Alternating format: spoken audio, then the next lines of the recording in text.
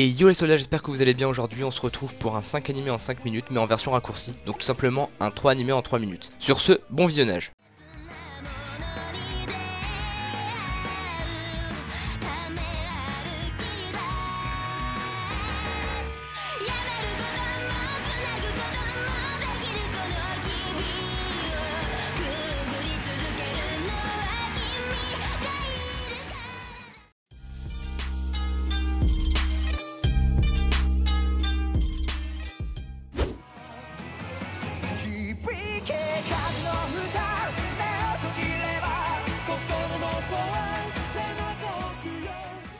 Cet animé se déroule dans un monde fantastique rempli d'humains et de divinités, du nom de Séraphin. On y rencontrera Soreil, un garçon élevé par des séraphins dans le village d'Elysia. Il fait partie des rares personnes à pouvoir communiquer avec les séraphins. Dans le monde des humains, certains séraphins se transforment en malveillance et corrompent le cœur des hommes. C'est pour cela que Soreil deviendra le berger et ira purifier le monde. Au cours de son périple, il rencontrera Alisha, Rose, Leila et parcourront le monde ensemble avec son meilleur ami Mikleo. Car leur ennemi commun est tout simplement le seigneur des calamités, le créateur en fait tout simplement de toutes ces malveillances. C'est à cause de lui si ces humains se font corrompre. J'ai beaucoup aimé cet animé, que ce soit par son style graphique, ses personnages, ou alors son histoire, et surtout pour cet opening excellent.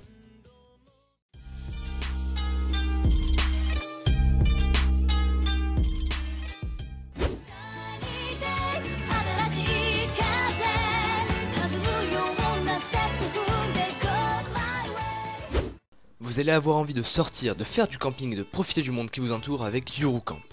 Tout commence avec Rinshima, une lycéenne qui adore faire du camping toute seule le week-end ou en dehors des cours en général, quand un jour elle croise Nadeshiko Kagamihara, une nouvelle dans la ville et inexpérimentée dans le domaine du camping, qui va lui donner envie de faire du camping à plusieurs. Après cette expérience, Nadeshiko décide donc de rejoindre le club de camping, le Cercle de plein air, qui est composé de deux personnes, Aoi Inuyohama et Shiaki Ugaki, qui ont pour projet de faire découvrir le camping aux gens. Et c'est à partir de là que Rin et le Cercle de plein air ont commencé à s'associer en quelque sorte, et tout simplement à faire du camping ensemble, avec aussi euh, de nouvelles personnes qu'ils vont découvrir au fur et à mesure de leur petite aventure, et avec des paysages vraiment magnifiques. Cet anime est composé de quelques petite touche d'humour mélangée avec un côté mignon, et c'est ce qui fait vraiment son charme.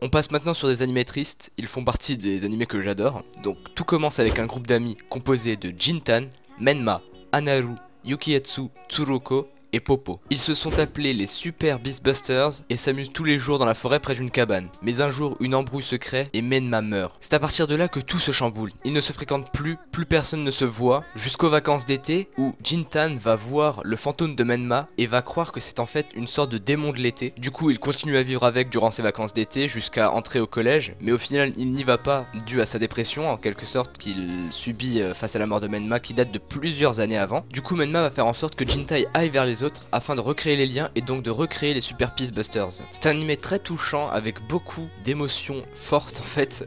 Chaque fin d'épisode, hein, il y a quelque chose de triste un petit peu avec cette OST vraiment qui rien qu'à l'entendre te donne envie de pleurer.